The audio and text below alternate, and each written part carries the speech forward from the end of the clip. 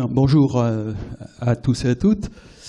Nous commençons la table ronde intitulée Le Libre, la clé de voûte de votre système d'information. Euh, nous avons trois personnes avec nous qui ont des choses très intéressantes à nous dire sur le sujet. Euh, je vais les présenter rapidement. Euh, à ma gauche, euh, le chef d'escadron Stéphane Dumont, qui travaille donc pour la gendarmerie nationale euh, au département des systèmes d'information et qui gère euh, tout ce qui est poste de travail et serveurs locaux. Euh, il a beaucoup de postes de travail euh, dans son périmètre et il a fait, il a une approche très orientée libre. Il vous en parlera. Ça fait cinq ans, c'est ça que vous êtes sur le sur ce projet-là. À sa gauche, Nicolas Kayser, qui est responsable des systèmes d'information chez Convenant, un groupe articulé autour de des véhicules automobiles. Euh, c'est pas la gendarmerie nationale en volume, mais c'est quand même 650 euh, collaborateurs et euh, un peu moins de 300 millions d'euros de chiffre d'affaires. Lui est chez Convenant depuis 10 10 ans, c'est lui qui a mis en place tout le système d'information, donc il a une connaissance évidemment en profondeur. Et il vous racontera euh, un peu en détail comment, où est-ce qu'il a utilisé du libre, pourquoi, comment et ce qu'il en a retiré. Et enfin Bruno Marant, qui est directeur des études et du développement à la Massif. Je ne vous présente pas la Massif, vous devez connaître. Il est à ce poste depuis, je ne sais plus, j'ai oublié de demander. Combien? 27 ans de Massif. Euh, Il a parcouru d'autres euh, d'autres postes avant, la production, l'architecture, et euh, aujourd'hui il a tous les, tous les projets de, de systèmes d'information qui passent entre ses mains. Et moi, donc, je suis Olivier Jousselin, je dirige une euh, société de conseil en système d'information. Donc, on accompagne nos, nos clients dans la, maîtrise et l'évolution de leur système d'information euh, à, tous les, à tous les niveaux, euh, notamment, notamment libre, mais euh, plutôt hétérogène, évidemment. Alors, tout de suite, euh, je vais passer la parole à. C'est vous qui le premier, à Monsieur Dumont pour qu'il nous que vous nous disiez pourquoi, euh, pourquoi le libre et com- comment, comment la stratégie du libre, euh, comment vous en êtes venu là, en quelque sorte? Qu'est-ce qui vous a motivé et qu'est-ce que vous en attendez? Euh, merci à tous. Bonjour, bonjour à tous et, à toutes. Avant de commencer ce défi de synthétiser en, moins de 5 minutes 12 ans de stratégie du libre en gendarmerie, je voudrais ra- rapidement représenter ce que constitue la gendarmerie nationale, que vous connaissez tous. Euh, qui- a dit malheureusement? Non, euh, la police de la route, enfin les, PV que vous prenez, c'est vraiment un- un- une, partie très infime euh, du métier de la gendarmerie. Euh, on ne fait pas que ça, heureusement. Donc, la gendarmerie, c'est constitué de 95 000 personnes réparties en métropole et en outre-mer sur environ 4 500, 5 000 sites distants. Donc, ce facteur d'échelle est très dimensionnant quand on parle de stratégie au niveau d'une DSI. Alors, pour résumer en 4 minutes euh, la stratégie du libre en gendarmerie, euh, c'est pas compliqué, il y a juste un seul mot à retenir c'est indépendance. Voilà, une stratégie d'indépendance, une volonté d'indépendance vis-à-vis des éditeurs qui pourraient nous imposer leurs choix techniques et ou commerciaux et quelque part conserver une part de souveraineté numérique euh, chère à euh, la ministre de l'économie numérique Fleur Pellerin à l'époque. Donc indépendance. L'indépendance, ça passe par quoi? L'indépendance passe déjà par la maîtrise de euh, l'ensemble des briques logicielles qui constituent le système d'information en gendarmerie. Donc, et ça va du data center jusqu'au poste de travail, en passant par les relais locaux, donc les serveurs locaux dont j'ai la charge. Cette indépendance donc, passe par cette maîtrise, à la fois maîtrise technique, donc d'où le recours au logiciel libre, puisqu'on peut avoir accès au code et donc le modifier pour pouvoir l'adapter à ses besoins. C'est le cas par exemple de, euh, Firefox. Euh, à une époque, on a modifié le code de Firefox, on a recompilé Firefox pour permettre l'accès notamment au site HTTPS sur Internet via notre passerelle intranet. Voilà. Donc on a eu besoin d'avoir accès au code source pour pouvoir intégrer cette brique euh, logicielle au sein de notre système d'information en fonction du besoin qu'on avait. Donc c'est aussi euh, donc cette maîtrise technologique conduit à une, euh, une urbanisation de, euh, de l'ensemble de ces briques qui doivent être interopérables entre elles, bien sûr, mais surtout interchangeables. C'est qu'on peut prendre une brique logicielle, je vais rester sur le cas de Firefox, et de pouvoir être capable de l'enlever et de la remplacer par une autre brique sans grande conséquence sur l'ensemble du SI. Le cas de Firefox est intéressant puisqu'à l'époque, Mozilla a cherché à, à, suivre le rythme effréné des montées de version imposées par Google pour Chrome. Et donc nous a pondu une nouvelle version tous les deux mois. Dans un grand groupe, c'est impossible à suivre en termes de montée de version. Donc, avant que Mozilla nous fasse un Firefox ESR, e on a maquetté le changement de la brique Firefox par Chromium. Et on s'est aperçu qu'en fait, en une journée, on était capable de le faire, en recompilant le code, etc. Et en une semaine, on pouvait euh, l'intégrer sans problème sur l'ensemble de notre parc informatique. Donc on est capable de prendre une brique logicielle et vraiment la remplacer. On est toujours indépendant euh, des volontés des éditeurs. Cette indépendance euh, est aussi une volonté d'indépendance des choix, donc non seulement techniques, mais aussi économiques. Je vais prendre l'exemple de la migration, enfin de la fin de support de Windows XP, le 8 avril 2014. En gendarmerie, au 8 avril 2014, il nous restait environ une trentaine de milliers de postes de travail sous Windows XP à migrer. Donc là, vous avez deux solutions. Soit vous avez anticipé l'affaire et prévu une stratégie qui vous permette de rester indépendant et d'être capable de changer les différentes briques, et donc de passer à un système, un, OS hein, alternatif, donc en l'occurrence Ubuntu, dont je parlerai euh, plus longuement tout à l'heure. Un petit peu plus tard, oui. En l'occurrence l'OS Ubuntu, ou bien bah, vous euh, crachez au bassinet et vous installez Windows 7 sur votre parc. Voilà. Mais vous n'avez pas le choix. Vous n'avez pas le choix. L'important, en termes d'indépendance, c'est d'avoir le choix. C'est pas vraiment le choix qu'on fait, quel que soit le produit qu'on rajoute. C'est d'avoir le choix, d'être capable de se dire voilà, ce produit-là, je le veux, je le mets, mais c'est moi qui décide. C'est pas parce qu'on me l'impose, pour des raisons économiques, pour des raisons euh, euh, technologiques. Voilà. Merci, oui, c'est une approche euh, intéressante, c'est un choix délibéré. Juste pour terminer, pour conclure, donc ça c'est la, volonté d'indépendance, donc qui aussi a un impact, bien évidemment. on revient sur le choix du, du, libre. Pourquoi le libre? Donc pour une raison d'indépendance, mais aussi pour une raison de coût. Voilà, ça c'est le second volet. Je dirais que c'est la cerise sur le gâteau.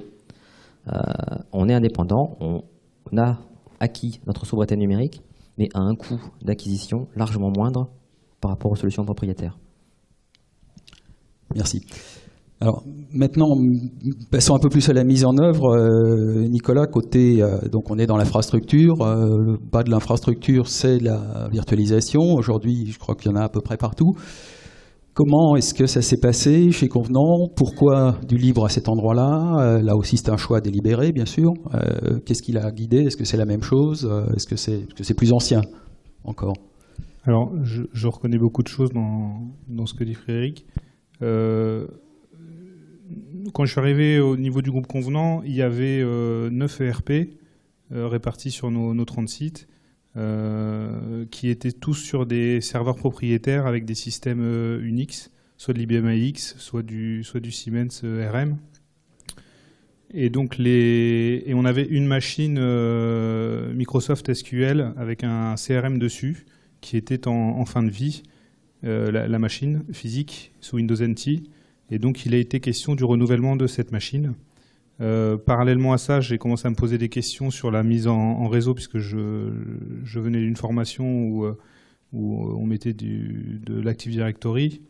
Et or, dans le groupe euh, convenant, chaque, enfin les, les, PC étaient en groupe de travail à l'époque. Et j'ai eu une opportunité de, lors de l'achat du, serveur pour le renouvellement du, du, matériel, de pouvoir bénéficier euh, d'une super promotion, un serveur acheté, un serveur offert. Ça s'est arrêté depuis malheureusement. Et donc euh, bah, j'ai voulu euh, profiter de, cette plateforme pour pouvoir bah, assurer une, sécurité maximale et pouvoir mettre de la redondance au niveau de mes serveurs. Je me suis alors intéressé fortement à la virtualisation. il y avait à l'époque une seule solution propriétaire disponible, c'était VMware qui était euh, pour des solutions de réplication euh, multiserveur à des, à des tarifs euh, totalement inadaptés au, budget informatique de mon groupe. Et donc, j'ai récupéré un livre blanc qu'avait édité Smile sur les solutions de virtualisation libre à l'époque. Et donc, j'ai passé beaucoup de temps à, analyser ça. Et à l'époque, il y avait pour mon besoin principalement KVM et, Xen qui, étaient en concurrence, euh, sachant que KVM était décrié comme, euh, défini pardon, comme un, produit euh, en devenir, mais pas forcément à déployer en production. C'était, on était en 2006, alors que Xen était déjà déployé en production sur beaucoup de, sites. Donc on a, enfin j'ai, fait le choix de, tester avec, avec Xen, avec Xen Source à l'époque. Et donc on a déployé nos premières machines, donc ce fameux serveur euh, Microsoft SQL, et en parallèle donc un, émulateur de PDC avec du Samba 3 et, un annuaire LDAP. Par la suite, sur ce, couple de serveurs, on est venu ajouter euh, dans les années 2006, 2007, 2008 toute la brique, toutes les briques d'infrastructure, donc la messagerie, la gestion de parc GLPI, euh, tous nos intranets sous Apache MySQL, euh, également quelques serveurs euh, Microsoft encore pour entre autres la console antivirus. Il y a maintenant en 2012, euh, nous avons migré sur. il y a eu le rachat de Xen par Citrix et on a migré de Xen Source vers Xen Cloud, Xen Cloud Platform, XCP, qui nous a apporté un peu plus de souplesse au niveau de la gestion du multi-machine.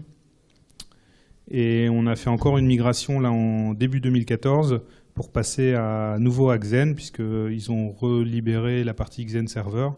Donc on est aujourd'hui en Xen Server 6.2 et on a aujourd'hui euh, 1, 2, 3, 4, 5 pools de, de, serveurs virtualisés en fonction du type d'activité ou du type de matériel qu'on utilise. Et on a 80 serveurs euh, virtuels qui tournent sur, sur cet environnement. Donc, à l'origine, c'était un choix financier. C'était, on n'a pas les moyens d'acheter VMware, donc on va voir autre chose. Mais euh, maintenant, 10 ans, euh, 8 ans plus tard, est-ce, qu'il y a, est-ce que tu as des regrets? Alors non, euh, on a, par rapport à nos besoins, euh, je ne suis pas spécialiste des produits VMware. J'en entends plutôt du bien par les gens qui les utilisent. Par contre, tout le monde est d'accord pour dire que les coûts de licence sont, très très importants. Sont élevés, oui. Et puis également, ce qui m'a conforté dans mon choix, c'est que à chaque fois qu'on a eu des migrations à faire, on en a fait trois grosses migrations du, de, l'environnement de virtualisation, ça s'est fait euh, de manière extrêmement facile, extrêmement souple, sans perte de productivité, sans perte de, euh, de, sans trop de stress pour l'équipe informatique, etc. Donc euh, beaucoup de souplesse et sans avoir besoin d'aller euh, demander des, budgets pour, pour, avoir des nouvelles versions. Oui, donc une très bonne réponse aux, attentes. Sans, pouvoir vraiment faire une comparaison, au moins la solution qui a été retenue répond parfaitement à toutes ces sur attentes. Du, sur du multi, enfin de, tel qu'on utilise, donc de, de la réplication multi-serveur, c'est tout, à fait tout à fait fonctionnel et, Xen Server est un produit euh, tout à fait professionnel. Hein. D'accord, merci. Je vais demander maintenant à Bruno euh, Marant de nous parler de son expérience côté euh, avec, avec DNS et DHCP, qui sont des briques auxquelles on ne pense pas toujours quand on monte une infrastructure, mais malgré tout, c'est utile. C'est vrai.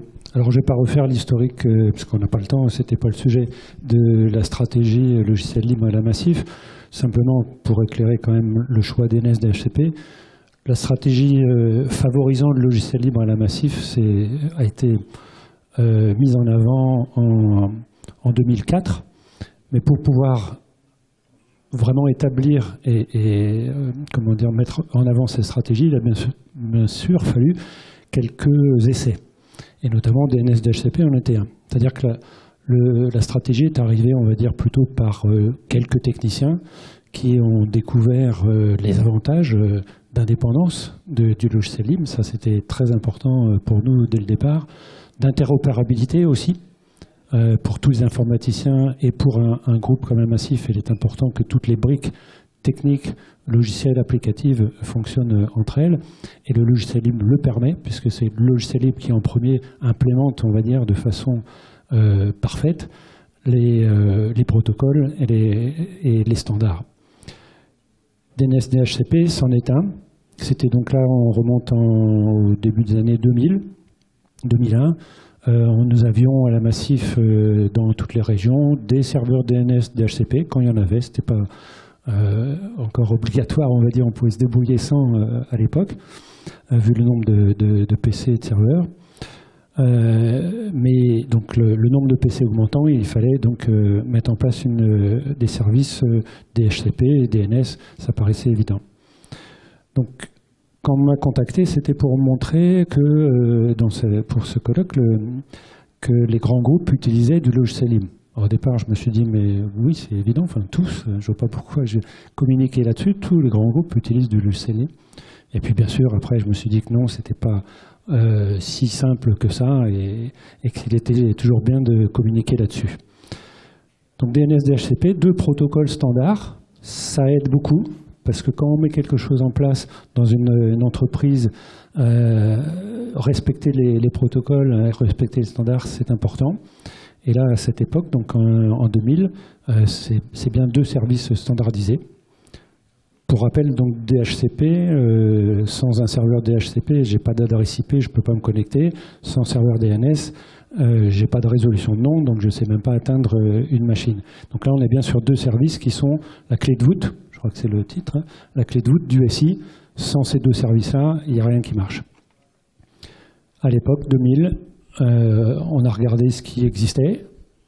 Il y avait donc euh, le seul, je crois, d'ailleurs à l'époque en libre, c'était ISC, hein, de ISC.org, dans ses bind, qui était très utilisé euh, un peu partout, mais pas dans les grands groupes, qui avaient plutôt des systèmes propriétaires. Nous, on l'a mis en place en apportant des nouveautés. C'était ça aussi qui nous a permis, c'est qu'on n'avait pas de dynamique, DNS dynamique, euh, Bind l'implémentait, etc. Donc on est arrivé avec une solution qui nous permettait de centraliser les choses sur deux serveurs, en failover en plus, donc avec une technologie qui, fonctionnait euh, par rapport à nos besoins de, sécurité, euh, qui implémentait des protocoles standards, donc qui étaient interopérables, et qui apportait de, la nouveauté, qui remplaçait un existant qui était euh, assez faible, hein, l'existant. Donc euh, un choix qui euh, derrière ben, a fait. Alors c'est les techniciens, hein, quand je dis qui ont amené ça, ça n'a pas été au départ un choix stratégique en l'an 2000. Enfin, dans certains esprits, c'était déjà une stratégie, mais c'est arrivé par, par les techniciens.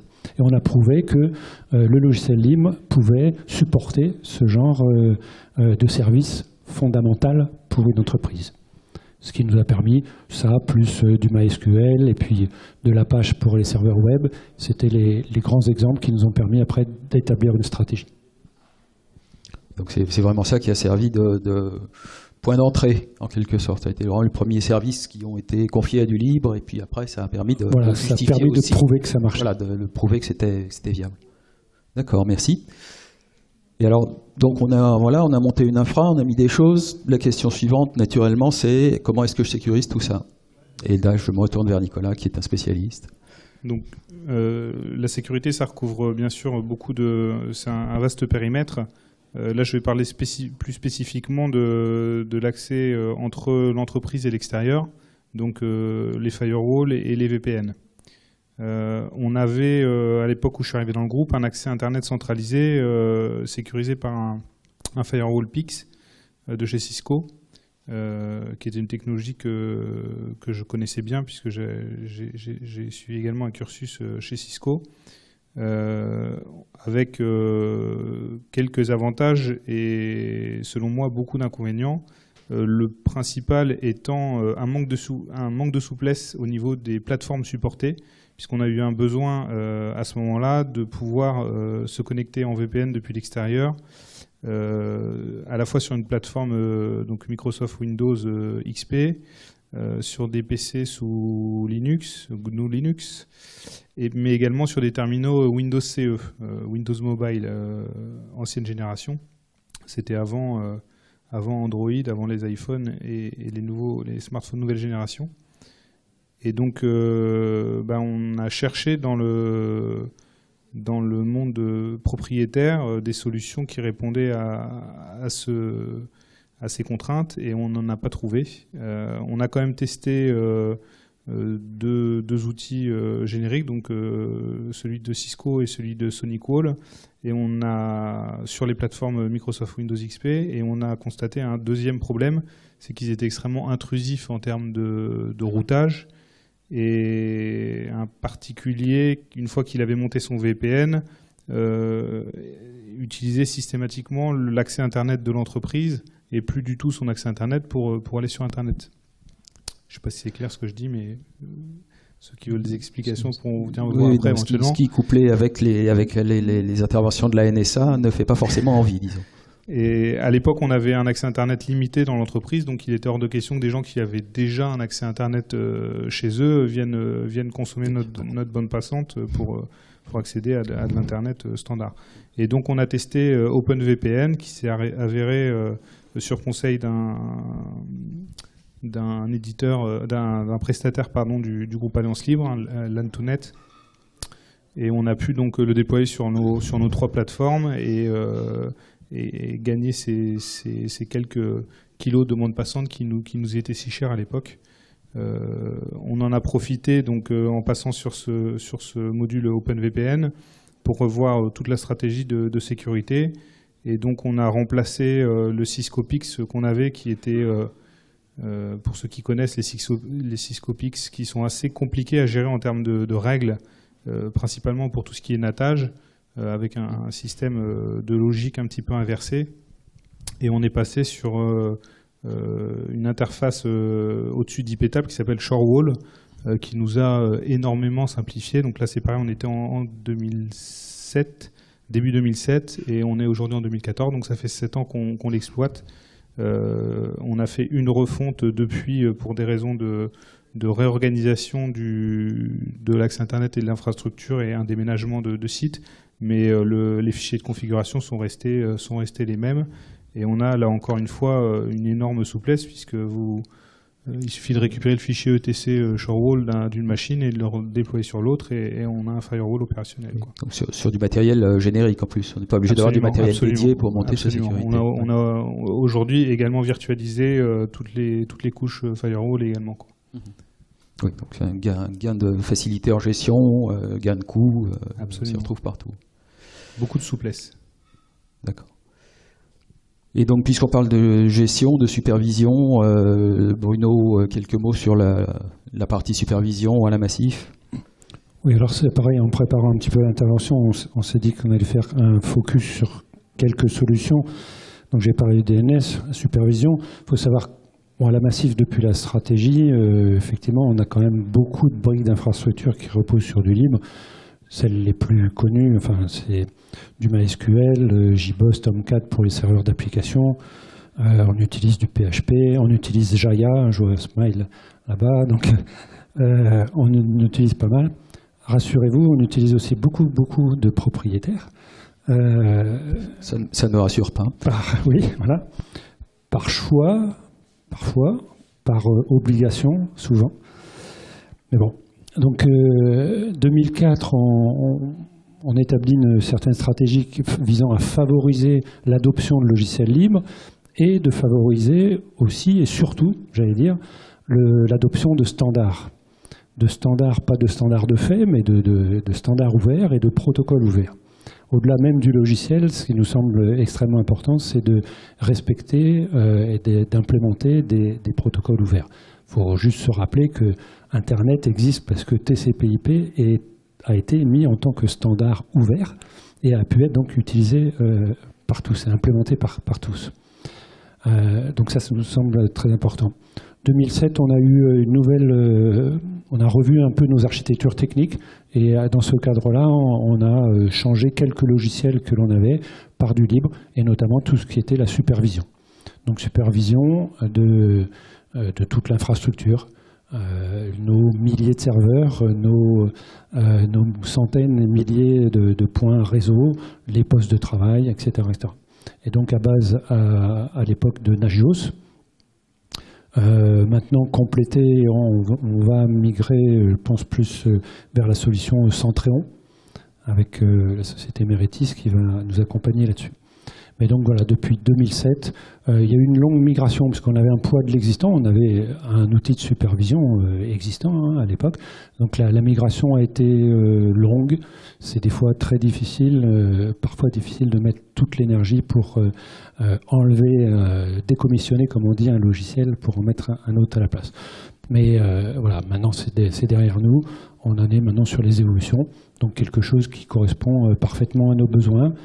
Euh, hormis, euh, je dirais, derrière la supervision, ce qui, euh, la deuxième phase, c'est la gestion de capacité. Donc là, les produits comme Nagios et, et, Centrion ont des choses embryonnaires, on va dire, sur la gestion de capacité, donc qui permettent d'historiser, d'avoir des tendances et des analyses surtout hein, sur la gestion de capacité. ça reste embryonnaire et c'est quelque chose là où le, livre, à mon avis, il faut agir vite. Oui. Effectivement, je n'ai pas, pas connaissance du, Nicolas. Non, c'est quelque chose que tu as regardé, euh, la gestion de capacité, ce genre de choses, euh, une idée. Euh, pas regarder spécialement ce genre de, logiciel. Non, la gendarmerie non plus. Vous n'avez pas. Non, c'est pas Pas de chance. Pas de chance. on va, on va quand même revenir à, vous. À vous, on a vu la partie vraiment infrastructure, le cœur du truc. Maintenant, côté poste de travail, puisque c'est ça qui est dans votre périmètre. Euh, vous avez, vous m'avez dit, 150 000 postes de, postes de travail? Alors, 150 000, c'est si on cumule effectivement le volet gendarmerie et police, puisque le STC carré, donc le service des technologies euh, et des systèmes d'information de la sécurité intérieure, euh, s'occupe des systèmes d'information à la fois de la police et de la gendarmerie.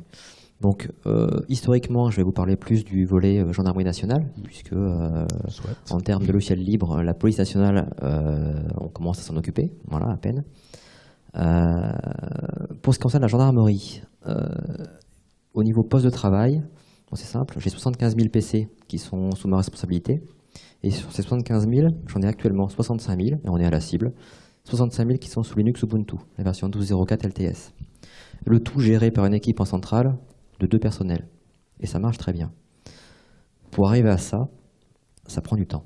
On, part en 2004, à peu près, euh, avec la mise en place de, euh, briques euh, libres de manière progressive. L'idée, c'est pas de faire du Big Bang. Ça marchera pas le Big Bang. Ça n'a jamais marché en fait avec le libre. En tout cas, en ce qui concerne le système d'exploitation, tout changer d'un seul coup, c'est pas possible. Et ça marchera pas. Euh, ceux qui vous disent ça sont des menteurs. Et j'en suis convaincu. Donc on est en 2004. On, passe d'un périmètre de 20 000 personnes, donc 20 000 privilégiés qui avaient un accès à intranet et donc à l'ensemble des outils, messagerie euh, collaborative euh, ou non, partage de fichiers, ce genre de choses. 20 000 privilégiés qui sont situés au niveau des états-majors, des départements et des régions, on passe à un volume global de 70 000 personnes. De, pardon, de plus de 70 000, donc ça fait 90 000 personnes. Donc là, il y a un facteur d'échelle différent. Donc on, a mis en place à cette occasion euh, toute la stratégie que je vous ai présentée tout à l'heure, d'indépendance, réduction de coûts, etc..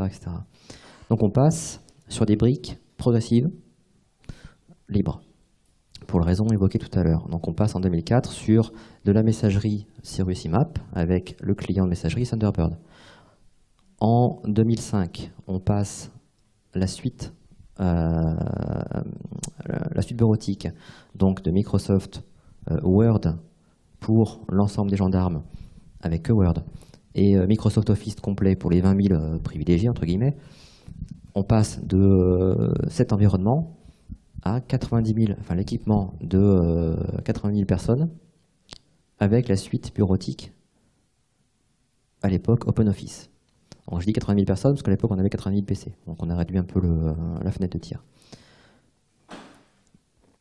Un point important au cours de cette migration, qui est, donc très progressive, c'est qu'aussi à chaque fois qu'on amène en place un logiciel libre, qu'on remplace une brique visible de la part de l'utilisateur, le client Thunderbird, euh, la messagerie, euh, le messagerie, pardon, euh, la suite bureautique Microsoft Office. À chaque fois, cela s'accompagne de nouvelles fonctionnalités ou en tout cas de fonctionnalités améliorées. Donc pour la messagerie, par exemple, bah, on a ouvert le service à 70 000 personnes de plus. Donc c'est un nouveau service.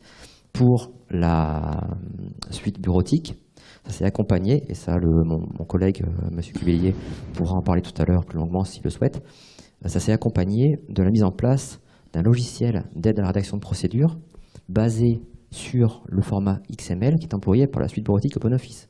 Donc on a la maîtrise parce que c'est un logiciel libre. Tout, tout, tout, découle en fait.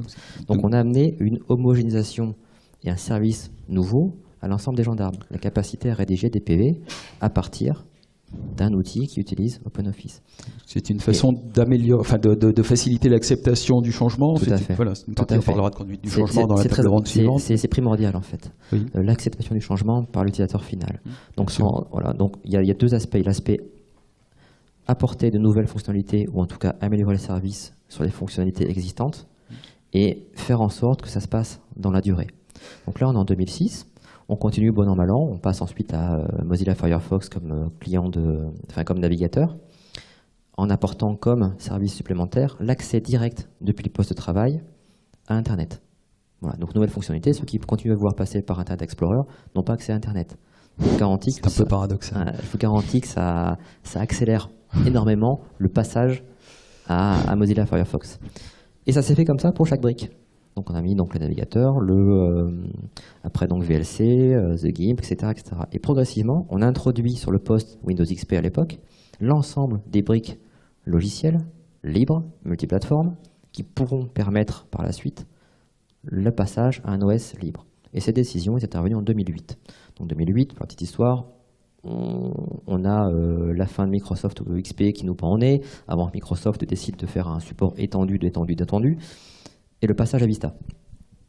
On fait une étude assez rapide, on s'aperçoit que Vista euh, ne convient pas, et qu'on est capable, à plus ou moins brève échéance, 2-3 ans, de se libérer des dernières adhérences résiduelles à Microsoft pour pouvoir migrer en masse le poste de travail sous Linux Ubuntu. Donc là, on est en 2008 et on décide d'y aller toujours progressivement. On y va toujours tout doucement. On en met, on met un PC donc Linux euh, dans chaque brigade de gendarmerie. Donc on a 4500 brigades en, métropole et en outre-mer.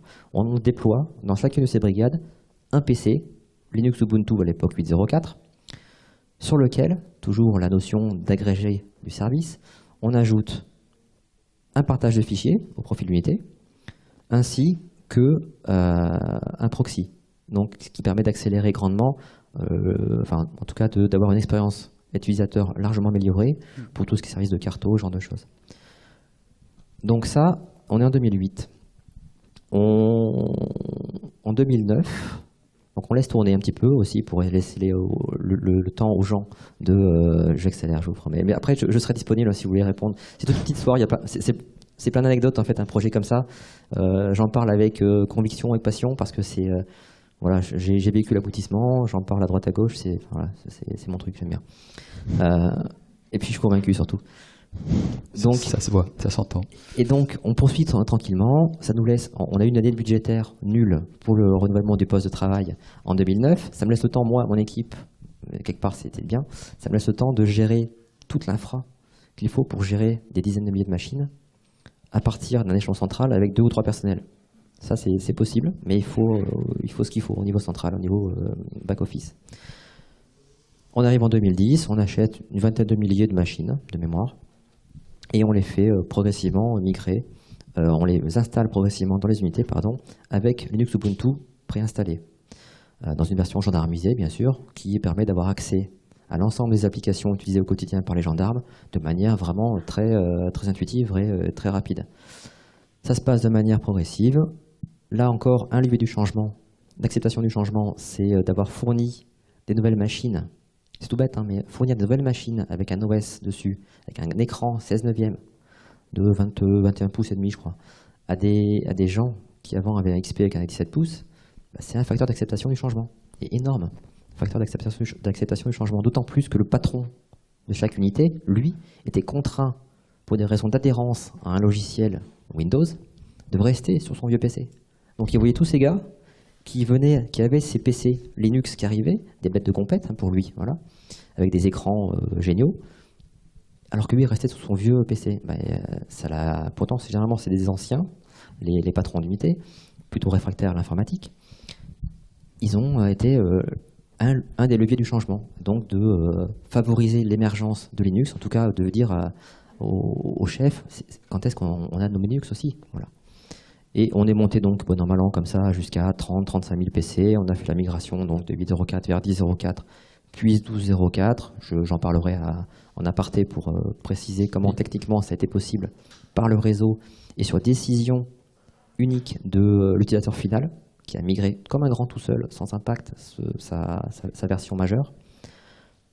Et on est arrivé donc finalement, euh, je dirais grâce ou à cause, ça dépend, faut voir, ça dépend comment vous voyez le, euh, votre verre, à moitié vide ou à moitié plein, c'est optimiste ou pessimiste.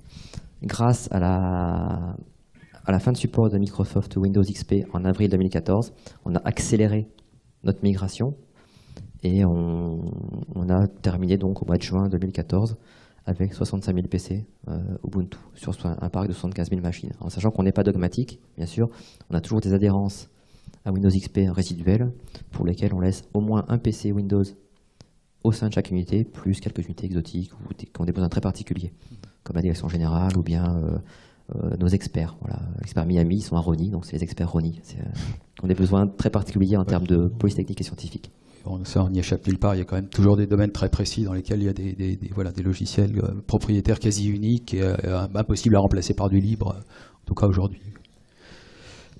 Merci beaucoup. Un tout dernier mot, je vais laisser quelques temps s'il y a des questions dans la salle. Un tout dernier mot, peut-être euh, chacun, le, libre, un, point fort, un point faible, ou, un, bon côté, un mauvais côté, une mise en garde. Bruno, premier peut-être euh, un, point fort, il n'y en a pas, il n'y a que des points forts. Je, plaisante un peu, mais c'est vrai qu'une fois qu'on a fait les choix, tout le, logiciel libre reste du logiciel, hein. donc euh, avec des bugs, c'est pas parfait. Donc une fois qu'on est passé là-dessus en se disant le logiciel libre c'est pas miraculeux, euh, on n'y voit que les points forts. Donc on peut rappeler, enfin, nous dans la stratégie c'était vraiment l'indépendance la maîtrise des coûts, enfin la diminution des coûts, ça reste pour les, tous les groupes, enfin toutes les entreprises, un, levier important. Euh, la gestion du changement, c'est très très très important. Il faut absolument euh, réussir, on va dire, chaque migration. Les points faibles, c'est euh, le poids de l'histoire dans, les entreprises, quand on démarre de zéro, je crois que c'était dit ce matin, un Google qui a démarré de zéro, d'ailleurs sans le logiciel libre, il n'aurait pas démarré, mais c'était évident qu'ils allaient démarrer qu'avec du logiciel libre. Nous, ce qui nous contraint souvent, c'est le poids de l'histoire. Quand on a des migrations euh, fortes à faire, ça a un coût important et souvent une acceptation du changement par les utilisateurs qui est difficile. Donc les, écueils, c'est certainement cela. Euh, le poids de l'histoire, le poids du pourquoi on ne met pas plus de logiciels libres euh, alors qu'il y a des solutions euh, vraiment matures, c'est donc ce poids de l'histoire, le lobbying des, des, entreprises propriétaires, hein, qui est très fort dans les, dans les entreprises. Je ne sais pas comment ça marche dans les TPE, PME, mais nous, dans les grands groupes, c'est, tous nos utilisateurs jusqu'au plus haut niveau sont harcelés par ça et il n'y a pas de force commerciale. Enfin, les forces commerciales du logiciel libre ne sont pas du même niveau, hein, c'est important. dans, Paris Match informatique, on voit très rarement parler de logiciel libre, euh, mais c'est ces magazines-là que nos, dirigeants euh, disent. Donc voilà, les écueils, c'est la, force de l'habitude, on va dire, et, la force commerciale des propriétaires. Merci. Nicolas, très rapidement. Oui, bah, toujours la même chose. Hein. Euh, il y a des bons logiciels et des mauvais logiciels. Le fait euh, qu'ils aient une licence libre ou pas euh, vient pas impacter ça. Donc ce qui est important quand on choisit un, logiciel libre dans l'entreprise, c'est que ce soit de, s'assurer que c'est un projet qui est actif, qui est vivant, qui est, pérenne, et, faire attention de ne pas choisir un projet qui, qui, qui n'a pas d'avenir, parce qu'il y en a malheureusement. Oui. Surtout au niveau de l'infrastructure, effectivement. Où, on parle là, si, sur un poste de travail on installe un truc qui meurt deux ans après, c'est pas très grave. Mais, euh, et une, une, erreur et un, un, mauvais choix euh, sur un logiciel euh, peut impacter très facilement, tout, donner une mauvaise image au libre en général, et, donc il faut faire bien attention à ça. Quoi. Rester sur des projets connus et, établis. Quoi. Sur, projet approuvé. Merci. Je crois que tout, a été dit en fait hein, sur les points forts et les points faibles. Euh, au niveau des points forts, effectivement, sur les, les grands, les grands classiques du libre, il n'y a pas de souci à se faire. Sur les, les points faibles, c'est vrai qu'effectivement, je rejoins votre, votre analyse sur la fragmentation des communautés et le risque en fait qu'on prend lorsqu'on choisit un, logiciel libre qui n'est pas forcément connu ou qui, qui s'amorce. Voilà. Donc c'est quelque part un pari sur l'avenir, mais c'est aussi un pari sur lequel on va avoir le plus de retour sur investissement par la suite. C'est-à-dire que euh, généralement l'adage veut qu'à vaincre sans péril, euh, à, vaincre sans péril, on triomphe sans gloire. C'est-à-dire que quelque part, si on ne prend pas de risque, on aura un retour sur investissement qui sera minime. Donc quelque part, il faut prendre du risque. Et pour contrebalancer ce risque, en tout cas le, faire diminuer, il y a des pistes de réflexion, notamment euh, d'associer des équipes en interne aux communautés qui travaillent sur le logiciel qui vous intéresse. Donc ça a été fait en gendarmerie, notamment sur OCS Inventory, euh, qui est devenu OCS Inventory NG. C'est le cas sur les modèles d'app, donc le Web SSO. Euh, d'autres exemples qui ne me pas forcément en tête de suite, mais voilà, on est capable d'injecter de la compétence et de la ressource dans des projets qui sont peut-être au départ euh, minimes, ou en tout cas risqués, mais qui après peuvent pérenniser parce que vous, êtes une, vous avez une influence sur la roadmap en fait. Donc on peut limiter le risque. Oui, parce que la, gendarmerie est un, je, l'ignorais encore il n'y a pas longtemps, un contributeur important sur tout ce qui est open source, euh, mouvement libre au sens large. Et donc évidemment, c'est une façon de pérenniser les logiciels quand on s'investit dedans soi-même, parce que on est sûr que ça ne va pas disparaître. Oui, et on a une influence sur la roadmap aussi du produit, ça c'est quand même intéressant. Oui. Euh, il y a euh, donc les, je sais que les trois intervenants restent encore un peu. Euh, vous partez pas tout de suite ni les uns ni les autres. Donc si vous avez des questions à leur poser, dans, vous pouvez le faire après. S'il y en a une ou deux qu'on peut caser dans les trois minutes qui nous restent, s'il y a des questions dans la salle.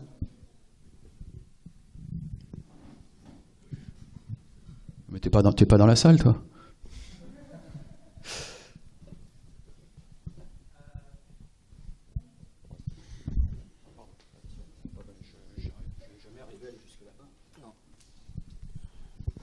Donc la question que je voulais poser en fait concerne un petit peu un commentaire que Bruno Marron avait fait et ça concerne en fait euh, Monsieur Dumont.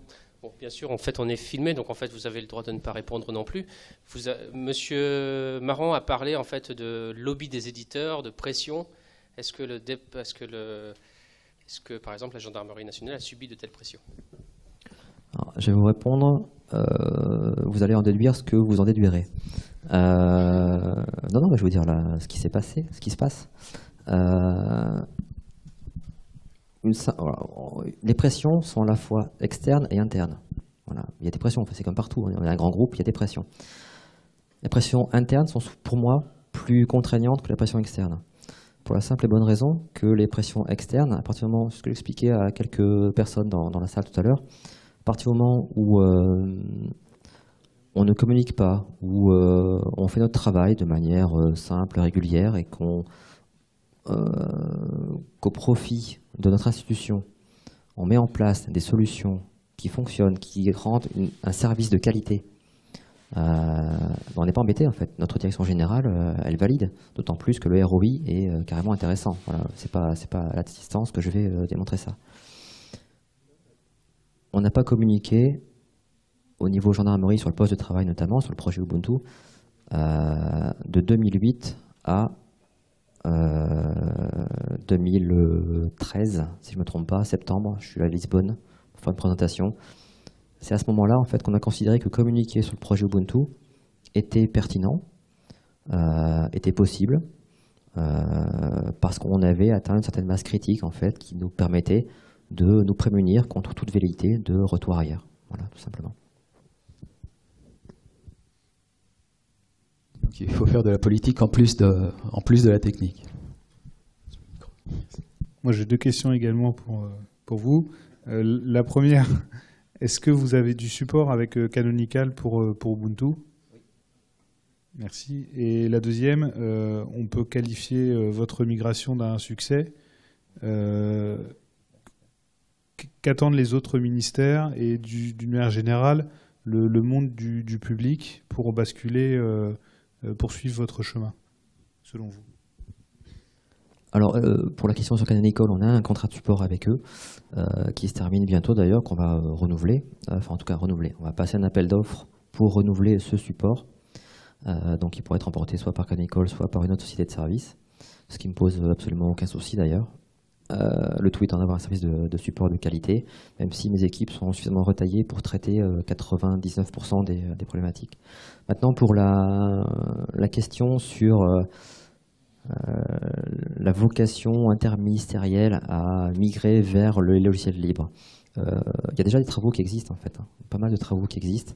Il y a eu la création euh, récente de la DISIC, donc la Direction interministérielle des systèmes d'information et de communication, euh, avec M. Marzin, qui est un, préfet, il me semble, qui est, à sa tête, qui commence à faire pas mal de, recommandations pour l'instant, qui ne restent que des recommandations, mais qui ont vocation, je suppose, et j'espère en tout cas, à s'imposer à l'ensemble des ministères pour l'emploi progressif également, je crois que la stratégie est la bonne, progressif de briques logicielles open source euh, dans, euh, je dirais, la, ligne directrice de la circulaire de Jean-Marc Ayrault de 2011, euh, si je ne me trompe pas. Ça, c'est une première chose. Maintenant, il y a aussi des groupes de travail sur lesquels, enfin, qui existent au niveau interministériel, qui sont les groupes euh, MIMO, euh, par exemple, pour le plus connu, qui est un groupe interministériel auquel je participe, qui traite euh, essentiellement de la suite bureautique, voilà. mais également à terme des, OS, etc. Il y, a, des représentants de chaque ministère qui viennent dans ces groupes-là de travail pour partager leur expérience, pour partager leurs solutions techniques, voir un peu les contraintes, les avantages, et communiquer auprès des autres, de, leurs euh, entités, communiquer aussi euh, auprès de la DISIC pour dire voilà, nous on promeut tel type de logiciel pour tel usage.